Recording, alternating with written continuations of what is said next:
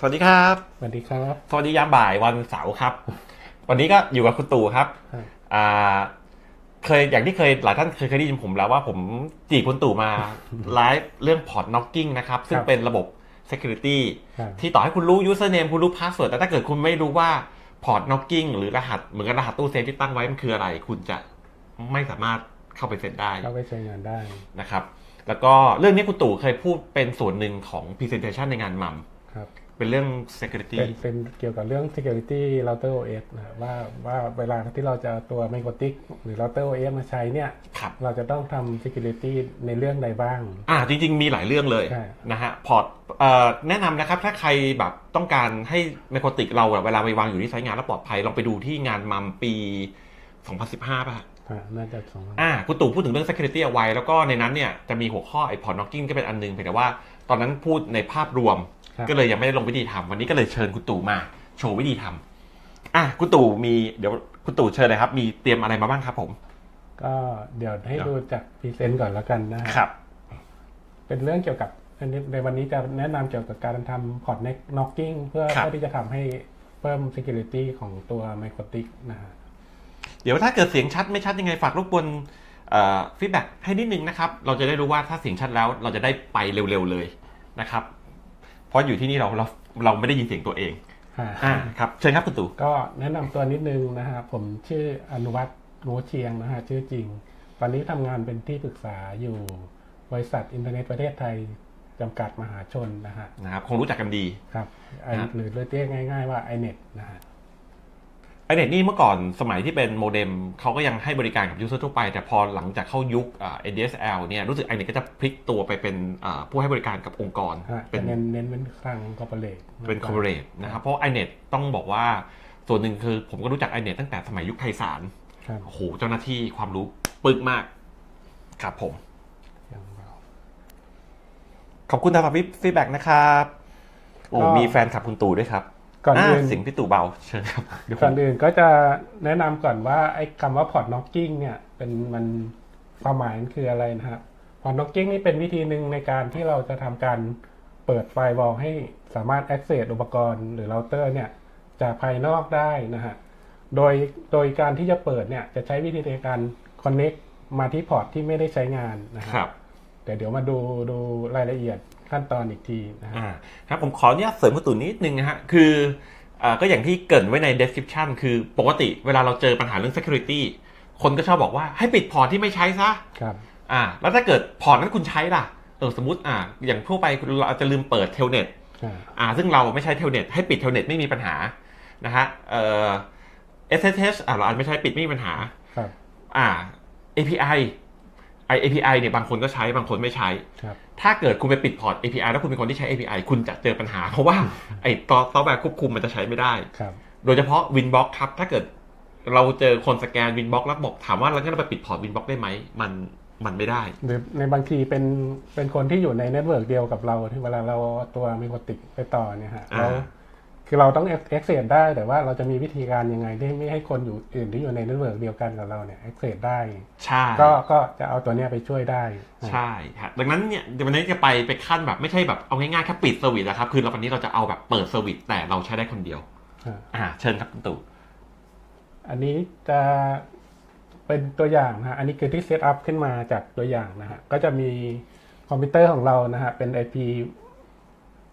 สมมติว่าอยู่ในวงแลนเดียวกันนะฮะเป็น 192.168.88.2 ตัวเราเตอร์เนี่ยก็เซตเป็นเป็น default คือจุดหนึ่งนะฮะ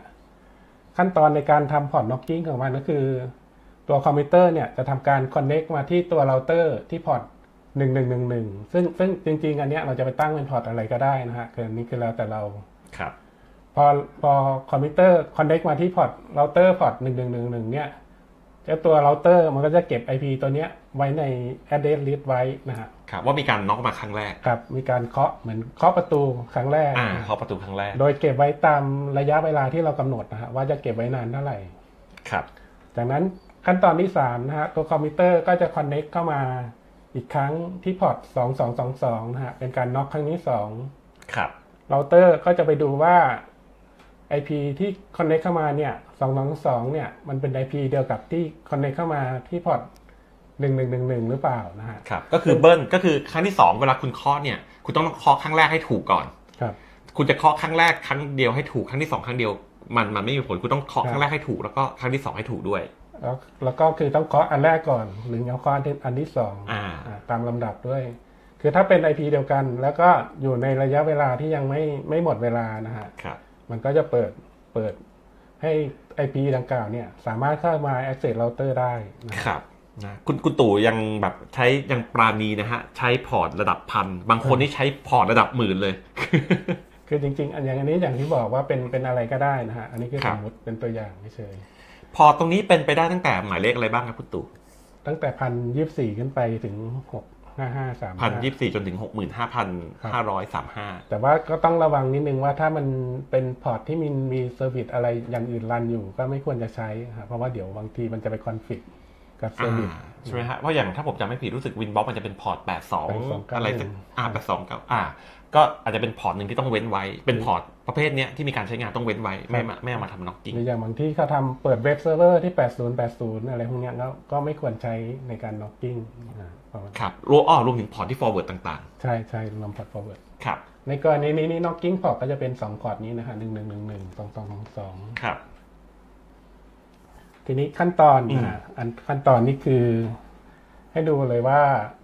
เริ่ม สมมติว่าในในในตัว MikroTik นี่ยังไม่มี rule firewall อะไรเลยนะฮะ เป็นอัน step ง่ายๆก่อน ขั้นตอนแรกก็คือสร้าง firewall rule อันแรกนะฮะ ให้เก็บ IP ที่คอนเน c t เข้ามาที่โปรโตคอล TCP ครับพอร์ต1111นะฮะครับเอาไปเก็บไว้ใน address list ที่ชื่อพอร์ต colon 1111ครับเป็นเวลาหนึ่งนาทีนะฮะ อันนี้อืมอันนี้คือขั้นตอนแรก ถ้าถ้าเป็นสคริปต์ก็จะเป็นอันนี้แต่ว่า อันนี้เดี๋ยวพอตอนจบเราจะโพสต์ตัว presentation ให้โหลดนะฮะมันก็ยังไม่ต้องจดก็ได้นะฮะอ่าให้ทำทำความเข้าใจก่อน ในที่นี้เนี่ยก็คือจะมีตัวที่เป็นหัวใจอยู่ 2 อันก็คือสคริปต์เนี่ยทุกคนทำตามนี้เลย แต่จะมีที่เปลี่ยนไปคือไอตัว DST port ครับ เท่ากับ1111เนี่ยเราก็ไปแก้ตัวเลขเป็นเป็นตัวเลขเฉพาะของเราเป็นพอร์ตของเรา ให้เป็นพอร์ตของเรานะครับ แล้วก็ส่วน address list ว่าอ่าจะใช้ address list อะไร ส่วน address list เนี่ยที่ชื่อว่า port colon 1111อันนี้ก็แก้เป็นอะไรก็ได้ตามครับตามใจเราชอบ แล้วก็เรื่องเวลาว่าจะให้ให้คอนเ e กให้นอกได้ไม่เกินภายในเวลา อันนี้คือตั้งไว้หนึ่งนาทีนะฮะก็เป็นหนึ่งหนึ่งนะหนึ่ง mว่าพอคุณน็อกที่1แล้วคุณจะต้องน็อกพอร์ตที่2ภายในเวลา1นาที ครับครับอันนี้ถ้ามีคำถามเกี่ยวกับ security ก็ถามมาได้นะครับเพราะคุณตู่ก็เดี๋ยวนอกจาก port knocking เนี่ยวันนี้เราอาจจะคุยเรื่อง security ไปด้วยก็ได้นะครับ ถ้าเกิดใครมีปัญหาแบบไม่ได้มีปัญหาคือใครอยากรู้ว่าวิธีการเอ๊ะทำยังไงฉันเข้าไป config ได้แต่คนอื่นเข้าไป config ไม่ได้เผื่อมีเรื่องอื่นๆมา จะได้มาแชร์กันอะเชิญครับคุณตู่ขั้นตอนที่สองนะฮะก็สร้าง rule rule ที่สองให้เก็บ IP ที่คอนเน c t เข้ามาทางพอร์ตสองสองสองสองนะฮะแต่ว่าจะจะสร้าง จะสร้างให้เก็บ IP ก็ต่อเมื่อมันอยู่ใน address list port หนึ่งหนึ่งหนึ่งหนึ่งก่อน อ่า แล้วก็ถ้าอยู่ใน address list นี้ใน address list นี้ก็จะไปครับสร้างใน address list ที่ชื่อว่า secure นะฮะ อืม ครับ ก็เวลาเขียนมาเป็นสคริปต์ก็จะเป็นประมาณเนี้ยนะฮะ ว่าเก็บภายใน address list secure time out ที่หนึ่งนาทีเหมือนกันนะฮะ ครับ แล้วก็ input เข้ามาทางพอร์ต2222 ครับ ครับ ดูจาก ซอสของ address list ที่พอร์ต1111 โดยโดยมีเงื่อนไขว่าไอ้เข้ามาเนี่ยคุณจะต้องเป็นคนที่น็อกหนึ่งหนึ่งหนึ่งหนึ่งมาก่อนครับนะไอ้ตัว port colon หนึ่งหนึ่งหนึ่งหนึ่งเป็นตัวอ่าครับขั้นตอนที่3นะฮะก็คือสร้าง rule ที่ allow ให้ address IP ครับ address ที่อยู่ใน list address list ที่ชื่อว่า secure เนี่ยสามารถ connect เข้ามาที่เราเตอร์ได้นะฮะครับถ้าเป็น IP นอกเหนือจากนี้ให้ drop connection ก็คือปิดกั้นไม่ให้เข้าถึงนะฮะ โอ้นี่คุณตู่โหดนะฮะ ตั้ง Input เลยก็คือ อันนี้คือเท่ากับปิดปิดทุกการเชื่อมต่อครับนะครับ อันนี้ถ้าดูรูของคุณตู่อันนี้คือคือคือรูโหดฮะ คือสั่ง Input แต่ไม่ระบุพอร์ตคือหมายความว่าคุณจะไม่สามารถเชื่อมเชื่อมเข้ามาได้เลยอันอันนี้คือเป็นเป็นตัวอย่างนะครับอ่าแต่เวลาเอาไปสคริปต์ไปประยุกต์ใช้ต้องไปดูกับไฟวอลรูที่เราเราเซตอยู่ว่าต้องมีอะไรปรับปรับแก้มั่งครับออาจจะต้องมี allow บางอย่างที่บาง service ที่เราเปิดให้ใช้อยู่ ครับ แล้ววิธีที่ในการที่จะน็อกนะฮะขั้นตอนเหมือนขั้นตอนในการที่จะมาเคาะก๊อกก๊อกก๊อกเพื่อที่ให้เปิดสวิตช์เนี่ยอ่าเริ่มจากวิธีง่ายๆนะฮะก็คือใช้เบราว์เซอร์เว็บครับเบราว์เซอร์ก็เปิดมาที่ HTTP แล้วก็ใส่ IP address แล้วก็ใส่หมายเลขพอร์ต colon หมายเลขพอร์ตนะฮะครับพอร์ตพอร์ตที่หนึ่งแล้วก็พอร์ตครับที่สองซึ่งต้องทำให้เสร็จสองอันภายในเวลาหนึ่งนาทีนะฮะครับอันนี้เป็นขั้นตอนง่าย ๆ แต่ว่า ตัวเนี้ยก็จะมีข้อจำกัดว่าจะ support เฉพาะโปรโตคอลที่ที่เป็น TCP อย่างเดียวนะฮะครับแต่ถ้าเราจะทำพอร์ต knocking แบบ advanced เนี่ย จริงโอ้โหๆเราจะทำเป็นครับเป็น UDP UDP ก็ได้ผสม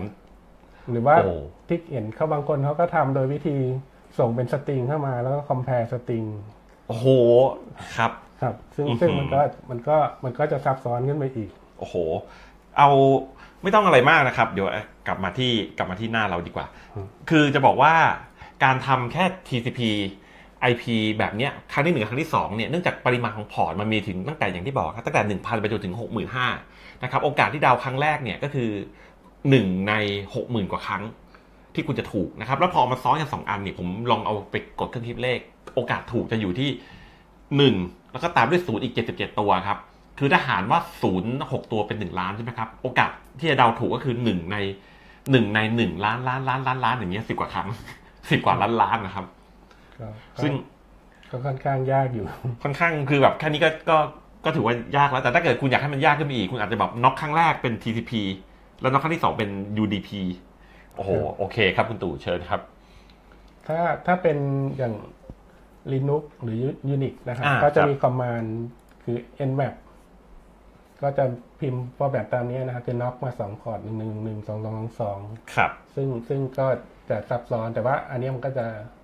อาจจะ support โปรโตคอลอะไรพวกเนี้ยได้ดีกว่าการใช้เว็บเบราว์เซอร์นะฮะอ่าคือแค่แค่ nmap อันนี้คำสั่งเดียวเนี่ยจะน็อกสองพอร์ตต่อเนื่องกันเลย หรืออีกอันหนึ่งก็คือใช้ลงเอ่อแพ็กเกจที่ชื่อว่า knockd นะฮะบครันบบนเวทที่เป็น Debian Ubuntu อะไรพวกเนี้ยนะฮะครับแล้วก็ใช้คำสั่ง knock ตามด้วยเราเตอร์ IP address แล้วก็พอร์ตหนึ่งพอร์ตสองครับ เหมือนกันก็เป็นการ knock ทีละสองพอร์ต ไอไอสองคำสั่งเนี้ยรู้สึก Windows จะบน Linux อาจจะมีมีมาให้ไอเอ็นเอ็นแมปนี่รู้สึก Linux จะมีมาให้อยู่เลยบน Linux น่าจะมีครับ นะครับแต่ Windows Windows ไม่มีนะฮะครับ รู้สึกผมเคยพยายามจะไปหาโหลด แล้วรู้สึกจะไม่หายากเหมือนกันหรือเปล่า ไม่แน่ใจ โอเค ลองลองดูฮะเออ หรืออีกอันอันนี้ที่บอกมี 3 วิธีนะฮะ แต่ว่า เคยเห็นในแอปใน iOS นะฮะจะมีมีออปชันให้เลือกทำ port knocking ได้โอ้ครับแอปที่ control ตัวมี Mikrotik แต่ว่าพอดีไม่ได้ capture หน้าจอมาอ่าครับครับมันก็จะมีออปชันตอนที่ล็อกอินว่าให้ทำ port knocking ด้วยอืมก็เดี๋ยวลองทดลองอ่าเดี๋ยวคุณตู่จะเซตอ่าเราพูดถึงวิธีละเดี๋ยวคุณตู่จะเซตบน Winbox แบบสดๆเลย ให้ดู ครับ ก็ก็คอนฟิกนี้นะฮะคือตัวโน้ตบุ๊กอยู่ที่ IP.2 ครับ แล้วก็ตัว ตัวไมโครติกอยู่ที่ IP 88.1 นะฮะครับ จริง ๆ อันนี้เซตไว้แล้วนะฮะแต่ว่าจะให้ดูว่าตอนที่เซตเนี่ยมันจะมีผลยังไง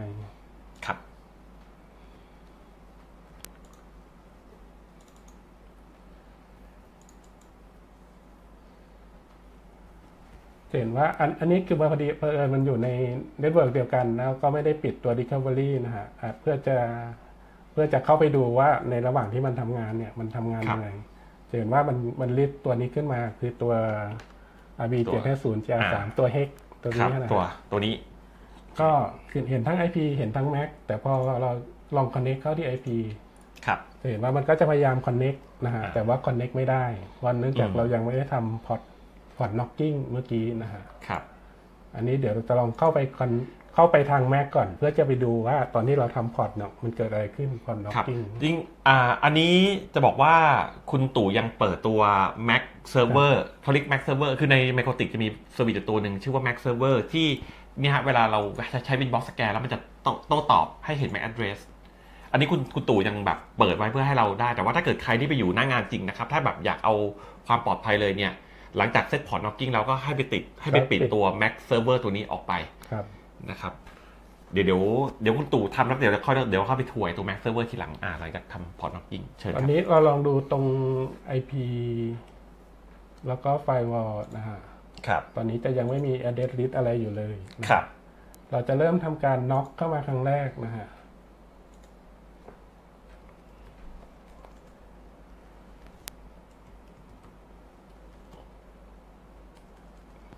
ดี๋ยวคุณตู่เลื่อนลงมาหน่อยไหมฮะจะได้เห็น address list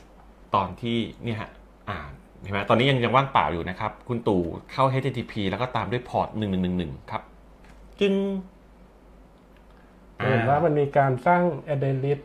พอร์ตหนึ่งหนึ่งหนึ่งเมื่อกี้คือรูแรกนะฮะขึ้นมา คือมัน address list อ่าครับครับเราก็จะน็อกครั้งที่สองได้พอร์ตสองสองสองสองนะฮะครับ ปึ้งอ่าอ่า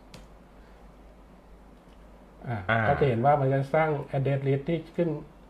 ชื่อว่าสีเขียวขึ้นมานะฮะซึ่ง allow ให้ IP จุดสองเนี่ย ใน firewall ก็จะ allow ให้ connect เดี๋ยวเราจะลอง connect ด้วย Winbox ใหม่อีกครั้งนะฮะอยู่ข้างล่างนะอ่า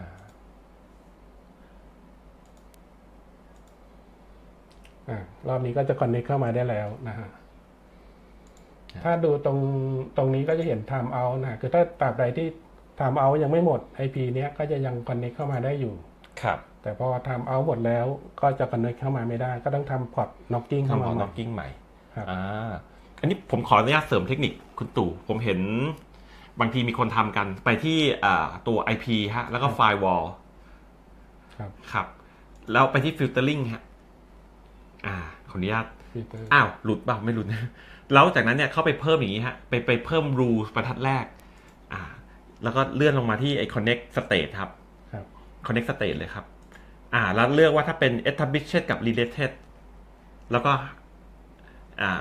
related อ่า แล้วแล้ว chain เป็น input ก็คือถ้าเกิดมี input ก็คือตัวอ่าเข้ามา config ที่ microtik นะครับ ถ้าเป็นการเชื่อมต่อที่ต่อค้างไว้เนี่ยให้เป็น action เป็น accept แล้วตั้งบรรทัดแรก อ่า ก็ก็จะ อ่า แล้วก็เลื่อนเลื่อนมาเป็นบรรทัดแรกนะครับ rules อันนี้ก็คือหมายความว่า ถ้าเกิดการเชื่อมต่อไหนเป็นการเชื่อมต่อที่แบบไม่ได้เกิดขึ้นใหม่ แต่เป็นการเชื่อมต่อที่ที่สร้างเอาไว้แล้ว เป็นครับเป็นการเชื่อมต่อที่ต่อเนื่องปุ๊บเนี่ยก็ให้ accept ก็คือข้ามไปเลยจบครับอ่า อันนี้ก็จะเป็นเทคนิคว่าหลังจากเราเข้ามา เราจะอยู่ได้ในระบบได้ไปเรื่อยๆจนกระทั่งเราอ่าล็อกเอาท์ออกจาก Winbox คราวนี้พอเราล็อกเอาท์จาก Winbox ปุ๊บเนี่ยเซ c ชันก็จะจบ พอจบ แล้วเราพยายามต่อเข้ามาใหม่ แต่เราไม่อยู่ในเอ่อ address list ปุ๊บเนี่ยเราก็จะต่อไม่ได้ฮะเราก็ต้องน็อกใหม่อ่านี่เป็น security ฮะตอนนี้ถ้าดูใน address list น่าจะไม่มีละเดี๋ยวเราลองเข้าอีกทีว่าอ่าลองฮะเห็นไหมฮะอันนี้อ่าลองเข้าอีกทีครับก็จะเห็นว่าจะเข้าไม่ได้เข้าไม่ได้ จนกว่าจะมีการน็อกใหม่นะครับ นี่ฮะ talking ดูง่ายไม่ไม่ยากนะจริงๆ บอกเนี่ยไลฟ์แป๊บเดียวเองได้ได้ได้ได้วิธีเรียบร้อยบางทีขึ้นอยู่กับเทคนิคนะครับว่าจะไปประยุกต์ต่อยังไงจะทำน็อกกิ้งอีกชั้นหรือเปล่าอะไรของโอ้โหสามชั้นเลยเหรอครับ โหโหดโหดมากนะ ก็ เป็นไงครับ ไม่ไม่ยากนะครับ ยังมีเวลาเหลืออยู่ครับเผื่อมีใครมีคำถามด้าน security หรือมีมีอะไรอยากรู้เกี่ยวกับ security ลองลองถามมาได้นะครับ ส่วนตัวพอร์ต knocking ก็จากจากวิธีแล้วก็วิการการ setup ก็จะเห็นว่ามันมันมันง่ายมาก โอเค ดูดูอธิอธิบายเข้าใจมากเลยเอ้ยอะเชิญนะเอาเห็นมี reference เชิญนะครับก็อันนี้ก็เป็นจะอยู่ในพรีเซนต์นะครับเผื่อใครจะไปดูข้อมูลเพิ่มเติมมีทั้งในวิกิของไมโครติกเอง แล้วก็ในงานมัมสไลด์จากงานมัมนะฮะก็ไปดูอืมเพิ่มเติมได้เทคนิคที่เขาใช้ฮะเดี๋ยวอ่าหลังจากไลฟ์ตรงนี้เสร็จเดี๋ยวผมจะคุณตู่แกมีคุณตู่มี presentation นะครับ เดี๋ยวผมจะเอา address ของ presentation เนี่ยไปใส่ไว้ใน description ของวิดีโออะเวลาจะโหลดจะได้โหลดกันได้ครับนะครับจริงคุณตู่รบกวนลองเข้าวิกินิดนึงฮะถ้าผมจำไม่ผิดรู้สึกในวิกิจะมีลิงก์จะมีลิงก์ไปให้ดาวน์โหลด โปรแกรม Knock สำหรับวินเครื่อง Windows อะครับ เป็นโปรแกรมเอาไว้ Knock โดยเฉพาะเลย มีไหมฮะ อันนี้เหมือนเขาเพิ่งปรับใหม่ โอ้เพราะว่าตอนแรกไอหน้า port knocking นี่จะอยู่ในหน้า Security แต่อันนี้เขาเพิ่งแยกออกมาหน้าใหม่เลยฮะ อ๋อ โอเค ยังไม่มีแอปยังไม่มีแอป เพราะว่าอ่าการน็อกเนี่ยมันมีเอ่อการใช้วิธีง่ายๆก็คืออย่างที่เมื่อกี้คุณตู่ทำก็คือใช้ตัว web browser ใช่ไหมฮะซึ่งพอใช้เป็นตัว web browser เนี่ยอ่ามันก็เลยจะคือ HTTP เนี่ยมันจะเข้าด้วย TCP ครับมันจะทำพอร์ต knocking ด้วย TCP ได้อย่างเดียวแล้วเราก็จะเห็นว่าเราต้องพิมพ์ 2 ครั้ง แต่ถ้าเราใช้โปรแกรมที่เป็น knocking เลยเนี่ยเราจะสามารถโปรแกรมครั้งแรกครั้งที่ 2 แล้วเราสามารถโปรแกรมได้ว่าครั้งครั้งแรกให้เป็น UDP เป็น TCP ครั้งที่ 2 เป็น UDP หรือ TCP เพื่อให้มันยิ่งความยากเข้าไปอีกครับอาลองดูครับรู้สึกถ้าผมจำไม่ผิดเนี่ยบน Windows จะมีโปรแกรมชื่อ knock K N O C K แต่แต่อะคุณตู่อยู่อยู่บนคือคืออย่างนี้ฮะ คนที่เล่น Linux เนี่ยมี Nmap ให้ใช้ ชีวิตเขาไม่ต้องหาอะไรโปรแกรมอะไรเพิ่ม แต่อย่างเราเนี่ยอยู่บนอยู่บน Windows เนี่ยมันไม่มี Nmap ให้ใช้ อ่าก็ผมก็ถ้าเกิดแต่อย่างที่บอกฮะใครใครที่อยากได้แบบสบายสบายก็เอ่อ ก็อาจจะโหลดน็อกส่วนใครที่แบบขี้เกียจโหลดไปไหน ฉันก็แบบสามารถใช้เครื่องมือที่อยู่ในเครื่องเลยอย่างเว็บเบราว์เซอร์ก็ครับให้ตั้งเป็นก็จะ TCP สะดวกกว่าอ่าฮะก็ก็เลือกใช้ได้เลยนะครับ โอเค งั้นก็วันนี้ก็เนื้อหาคิดว่าน่าจะเกี่ยวกับ port knocking คงครบถ้วนนะครับ มีคำถามอะไรเพิ่มเติมก็ลองคอมเมนต์ดูครับ เดี๋ยวคุณตู่เขาอาจจะแวะเวียนเข้ามาครับสุดท้ายขอ Facebook คุณตู่อีกนิดนึงครับ เผื่อใครมีคำถามจะได้อ่าเข้าไปสอบถามคำถามที่ Facebook คุณตู่ได้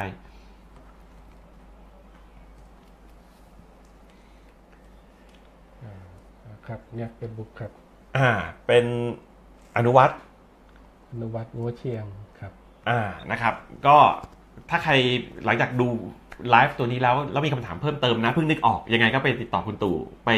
เซฮัลโหลไปส่งข้อความคุยกับคุณตู่ได้ครับที่ที่ Facebook ตรงนี้ โอเค ถ้างั้นวันนี้ยังไงขอบคุณมากครับที่ติดตาม แล้วเดี๋ยวมีเนื้อหาอะไรดีๆ จะอ่ามาไลฟ์กันใหม่ครับผมยังไงสวัสดีสงกรารครับ